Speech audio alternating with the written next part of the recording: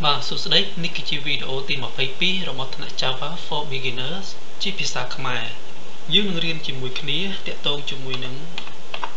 Java operators ហើយនៅថ្ងៃនេះយើងនឹងចាប់ផ្ដើមជាមួយនឹង arithmetic operators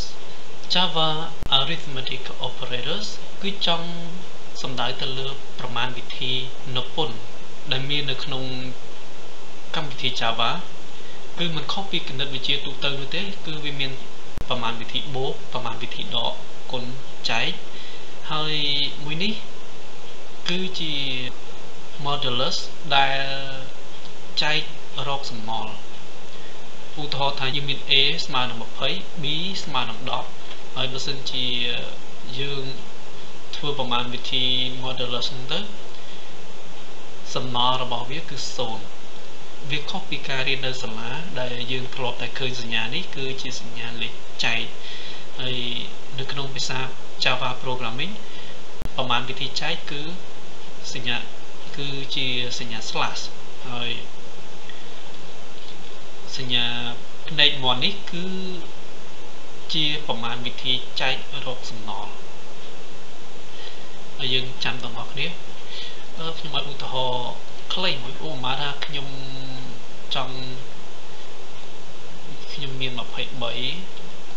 យខ្ញុំចង់ចែក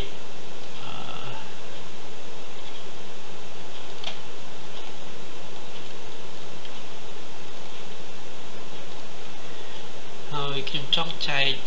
ឲ្យ5អញ្ចឹងប្រហែលទៅ23ចែកឲ្យ5គឺយើងចែកបាន4អញ្ចឹងណា 5 4ដង20ចឹង20ដក23ដក20នៅសល់3ដូច្នេះប្រមាណវិធីចែកយកសំណល់នេះគឺលទ្ធផលរបស់វាគឺស្មើ3បន្តទៅមុខទៀតសញ្ញាបូក2ដងជាប់គ្នានេះ គឺគេហៅថា increment increment ហ្នឹងគឺជា ប្រមាណវិធីកំណើនឬក៏កើនមួយកើនគឺជាការកើនម្ដងមួយម្ដងមួយម្ដងមួយបើសិនជាយើងឃើញមានសញ្ញាហ្នឹងហើយសញ្ញាដក2នេះគឺ decrement គឺថយចុះម្ដងមួយម្ដងមួយបាទឥឡូវនេះយើងចូលមកមើល program របស់យើងវិញយើងធ្វើប្រមាណវិធីទាំងអស់គ្នាជាងនៅថ្ងៃនេះគឺយើងអឺ រៀនអំពី arithmetic operator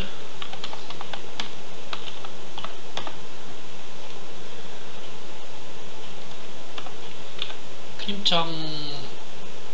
តាំង integer a ស្មើជាមួយនឹង10ហើយ integer b ស្មើជាមួយនឹង20ឧទាហរណ៍សិន c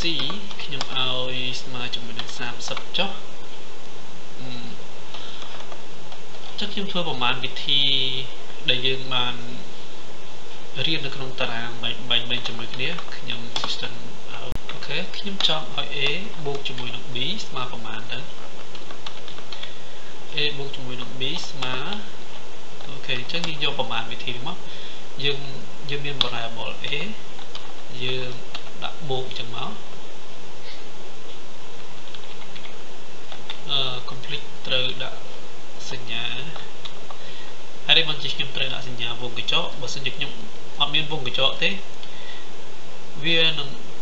វានឹងគិតថាវា A និង B នឹងគឺជា string ដូច្នេះវាអត់កណនីឲ្យយើងទេដោយសារនៅក្នុង print out គឺយើង print ជាលក្ខណៈ string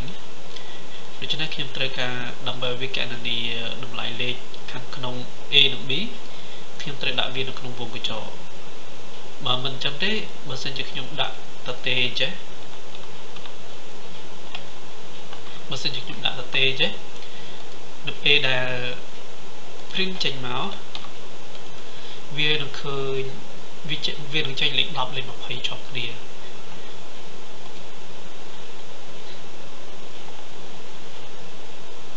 អឺខ្ញុំបរិញ្ញតិចសិន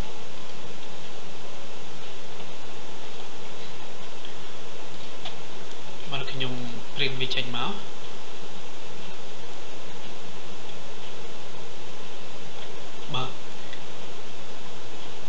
a បូក b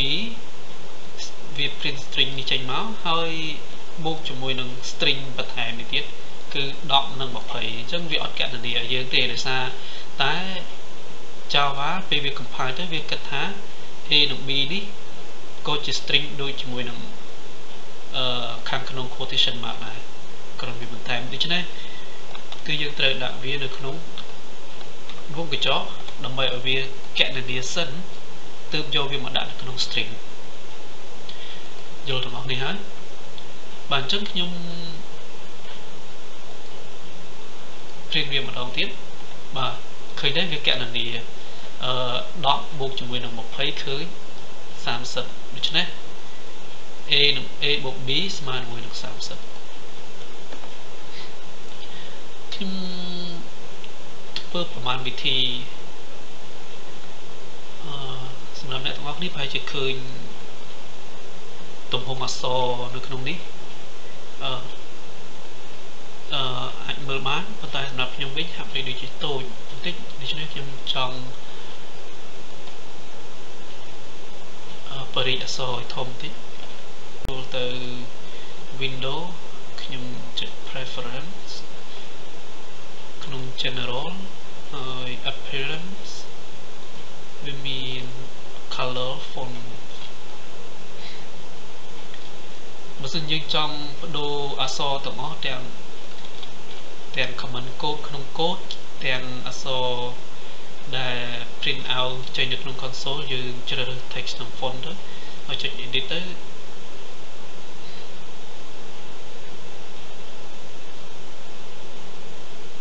យើងនឹងអាចដូរទំហំ font អក្សរនៅទីនេះបានក៏តែ សម្រាប់ console គឺខ្ញុំអត់មានបញ្ហាអីទេអឺជាជាធម្មតាខ្ញុំនៅក្នុង comment នៅនៅពេលដែលខ្ញុំសរសេរ program ខ្ញុំត្រូវការមើលវាល្អបន្តិចឆ្នៃខ្ញុំជ្រើសរើស Java text ហើយខ្ញុំឲ្យវាស្មើនឹង12ល្មមមកឲ្យខ្ញុំមើលទៅស្រួលមើលបានរៀងក្រំបាយជាងមុនឥឡូវនេះយើងតមេរៀនយើងទៀត អឺ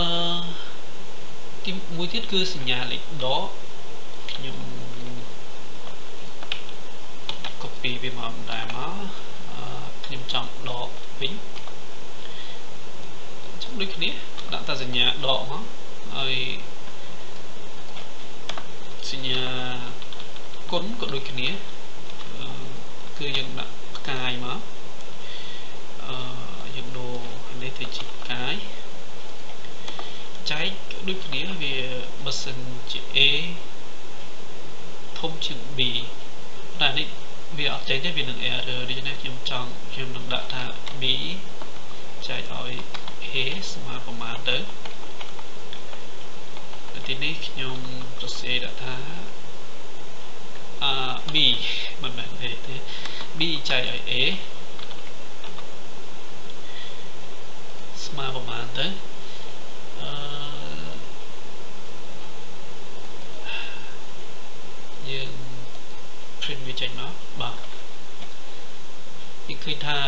ចម្លើយរបស់វាគឺត្រឹមត្រូវអឺមួយទៀតគឺចុងក្រោយគេគឺយើងចែកយកសំណល់ខ្ញុំចង់ឲ្យ B ខ្ញុំចង់រកសំណល់នៃ B ចែកឲ្យ A តើស្មើប្រមាណចំ B សញ្ញាផ្លេច1 អេបាទគឺ0ដូច្នេះត្រឹមត្រូវយើងឃើញថាអ្វីដែលយើងបានធ្វើមកគឺត្រឹមត្រូវ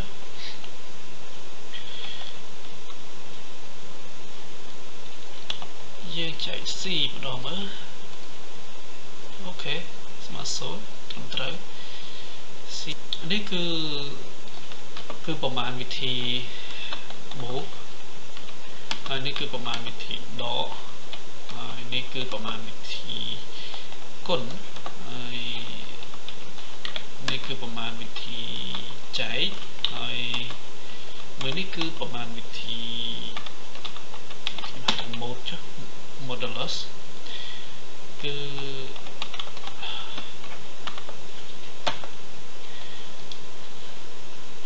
ចឹងខ្ញុំ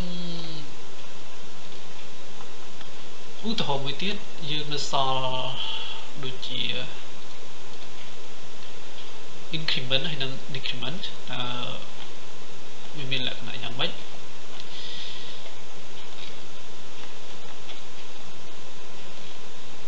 ខ្ញុំ block វាសិនហើយខ្ញុំតាម integer ខ្ញុំឲ្យ d ចុះ d ស្មើជាមួយនឹង13និង12 បើសិនជាខ្ញុំ system out ហើយខ្ញុំ print d plus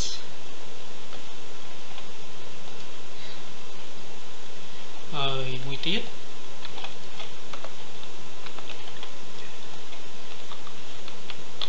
គឺយើងអាចសរសេរបានពីររបៀបហើយក៏វាមានន័យខុសគ្នាដែរយើងអាចដាក់ d ហើយ ទើបយើងដាក់ប្រមាណវិធី decrement ឡើងហើយយើងធ្វើប្រមាណវិធីអឺមិនមែន decrement ទេ increment យើងធ្វើប្រមាណវិធី increment មុនហើយចាំយើងបូកជាមួយនឹងចាំយើងបន្ថែម d ក៏បានក៏ប៉ុន្តែតម្លៃលេខរបស់វាគឺខុសគ្នាអឺបើសិនជាយើង click run ហើយវាចេញផ្លាកដូច្នេះយើងគួរតែ tick នេះទៅថ្ងៃក្រោយគឺវា save ឲ្យយើង automatic អញ្ចឹងយើងមិនបាច់ចាំ save ហើយទើប run នោះទេយើងអាចគ្រាន់តែចុច run ទៅគឺវា save automatic ឲ្យយើងទៅពេលក្រោយក្រោយទៀតបាទនេះអូយើងយើងយើងរៀនមិញជាមួយគ្នាយើងរៀនថាម៉េចនៅពេលណាដែលយើងថែម plus plus នេះមានន័យវាកើនមួយឧទាហរណ៍ថា b អូនេះគឺ b 20 ណា a យើងដាក់ a ទៅខ្ញុំកែទៅកុំឲ្យវាខុស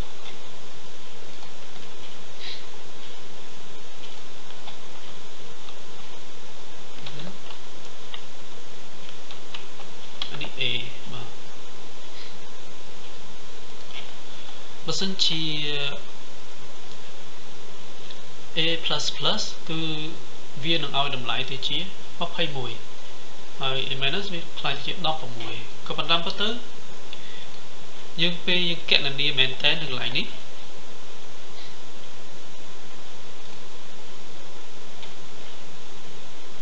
យើងឃើញហេតុអីបានជាវានៅតែ20នៅឡើយហើយដល់ពេលមកដល់ d+ ខាងមុខនេះវាឡើងដល់24ក៏តាមពិតអញ្ចឹងបើសិនជាយើងបន្លាយវាមកមើលណា ឧបមាថាខ្ញុំតាម y ចេះវិញខ្ញុំ integer y ស្មើនឹង d ខ្ញុំដាក់អញ្ចេះវិញអញ្ចឹង y នៅទីនេះគឺមានន័យថាម៉េច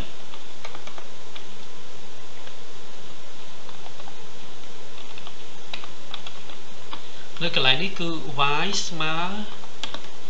ជាមួយនឹង d y ស្មើ d ហើយក្រោយមកទៀតទើប d ហ្នឹងខ្លួនឯងគឺបូកជាមួយនឹង1គឺន័យវាគឺអញ្ចឹងឯងបើសិនជាខ្ញុំដាក់ថាអញ្ចឹងវារត់អញ្ចេះ y ស្មើនឹង d មានន័យថាគឺស្មើនឹង12 ហើយក៏ប៉ុន្តែបន្ទាប់ពី y ស្មើនឹង12ហើយនៅពេលដែលវា compile ចុះមកទៀតគឺ d នឹងកើនមួយលេខបន្ទាប់ទៀតហើយបើសិនជាយើងមើលទៅយើងដាក់កន្លែងនេះខ្ញុំដាក់ y នៅទីនេះ y នឹងខ្លាច y គឺស្មើជាមួយនឹងប្រមាណ y គឺស្មើជាមួយនឹង12 គឺដូច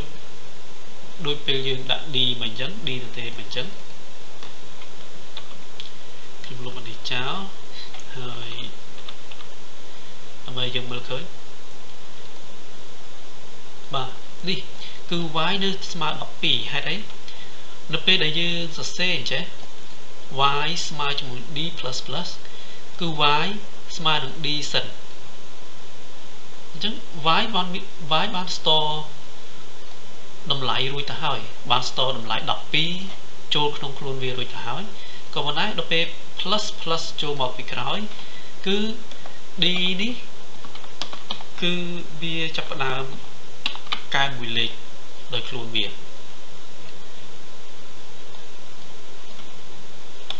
គឺចង់មានន័យអញ្ចឹងហើយដូច្នេះហើយយើងយកអានេះ មកចំនួនដោយញ៉ា plus plus កន្លែងនេះហើយ y គឺស្មើ d ហើយដោយសារតែ d បានបូក1រួចហើយនៅពេលដែលយើងនៅពេលដែលយើង print វាចេញមកបើសិនជាខ្ញុំដាក់ d នៅកន្លែងនេះចម្លើយរបស់វានឹងคล้ายទៅជាប្រមាណវាលែងជា d នៅទីនេះវាលែងជា12ទៀតហើយប៉ុន្តែវា d គឺស្មើជាមួយនឹង13 ឃើញទេអានេះគឺ y ណាខ្ញុំដាក់អញ្ចឹងឲ្យមើលកុំឲ្យច្រឡំគ្នា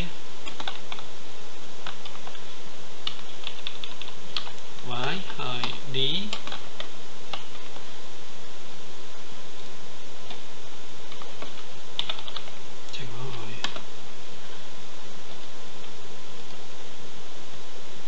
y គឺ12 d គឺ13ហេតុអីបានជា d បានស្មើ13ដោយសារបន្ទាប់ពីនៅពេលដែល d បានបូកនឹង1រួចហើយ d គឺមានតម្លៃថ្មីចឹងដូចគ្នាដែរបើសិនជាខ្ញុំយើងចូលចំណុចដើមរបស់យើងវិញបើសិនជាខ្ញុំដាក់ថា d++ ស្មើនឹងប៉ុន្មាន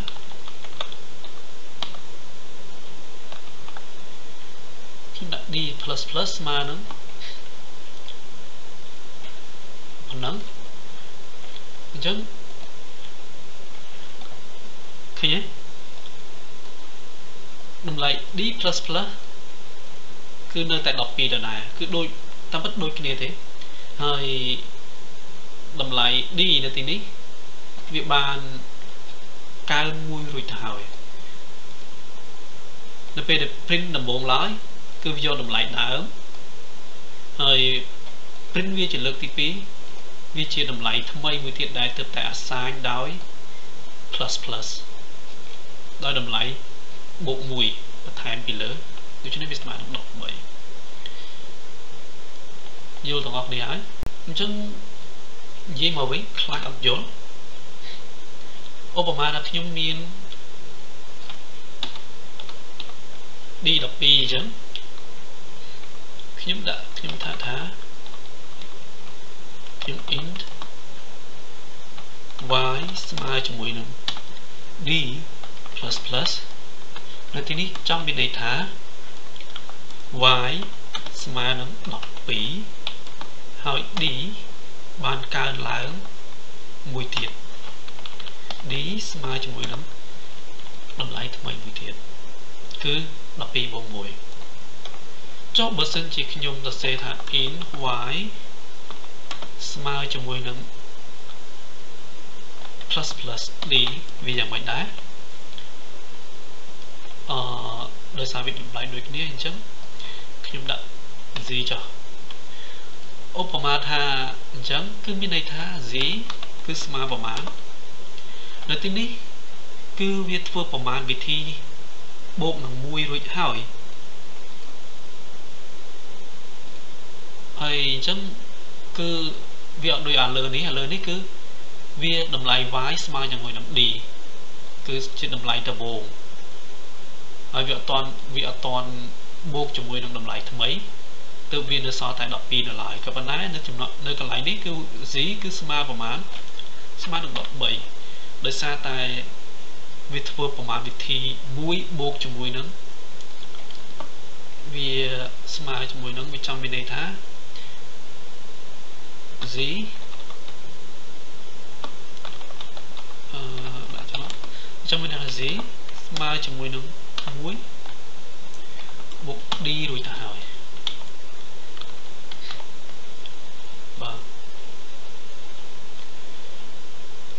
ឥឡូវយើងយើងយល់ច្បាស់ហើយកន្លែងនេះអញ្ចឹងខ្ញុំ print អានេះមើលយើងដាក់ z ហើយអានេះយើងដាក់ y ចឹង y ខ្ញុំ print ចេញមកឃើញទេគឺ y នៅតែ12គឺថា z ស្មើនឹង14អូហេតុអីបាន14ពីព្រោះ យើងយកតម្លៃអឺកំណើនរបស់ D ដែលមានដែលយើងបានតាមមុន D វាបានខ្លាយទៅជា13រួចហើយនៅពេលដែលយើងឲ្យ y ស្មើជាមួយនឹង d ហើយនឹងប្រមាណទី plus plus នេះគឺ y គឺយើងឲ្យគឺយើងមានន័យថាគឺយើងចង់ឲ្យ y ចាប់ផ្ដើមដោយស្មើនឹង12ហើយ d គឺបូក1 អញ្ចឹង d 12បូក1គឺ13មិនចឹងណាស្មើនឹង13ដូច្នេះនៅកន្លែងនេះ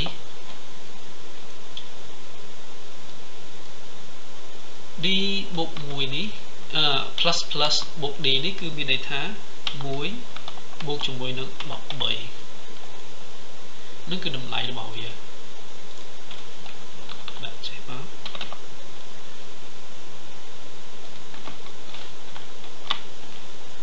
ចឹងបាន z ហ្នឹងគឺខ្លាយទៅជា14ឥឡូវកុំឲ្យច្រឡំគ្នាខ្ញុំដាក់អញ្ចេះមកខ្ញុំដាក់ថាអឺ e ស្មើជាមួយនឹង10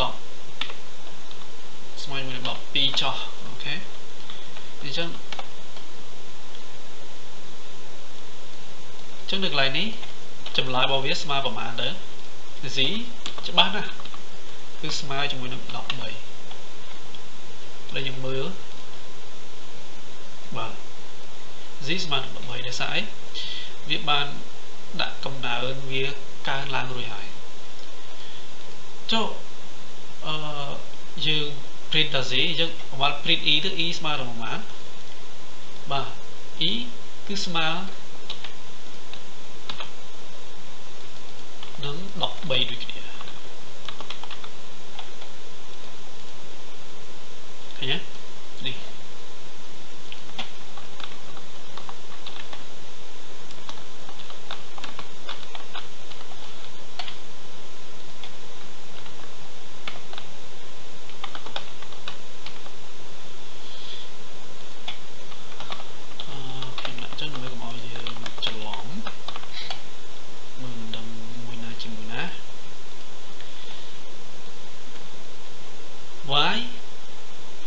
ស្មើជាមួយនឹង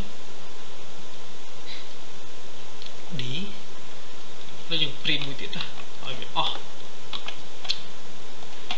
ចឹងកុំច្រឡំណាអឺភាគច្រើនច្រើនតែច្រឡំនឹងអ្នកដែលរៀនដំបូងយើងនិយាយថា increment ចុះ decrement វិញយ៉ាងម៉េចដែរនេះគឺ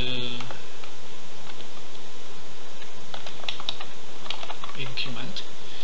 ឥឡូវយើង decrement មើលម្ដងវិញមើល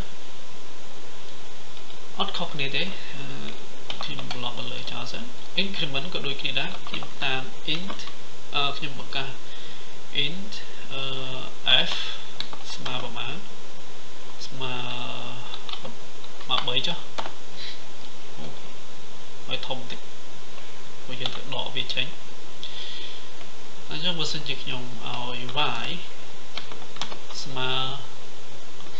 ប្រហែលអឺកុំឲ្យ y ទៅដែរដែរ v v ស្មើជាមួយនឹង f ទីទៅមើលស្មើប្រហែលអឺអញ្ចឹងខ្ញុំថា v នឹងស្មើជាមួយនឹងស្មើប្រមាណខ្ញុំថាតម្លៃរបស់វាស្មើនឹង8ដុល្លារតម្លៃរបស់ V ស្មើនឹង8ដុល្លារហើយឯ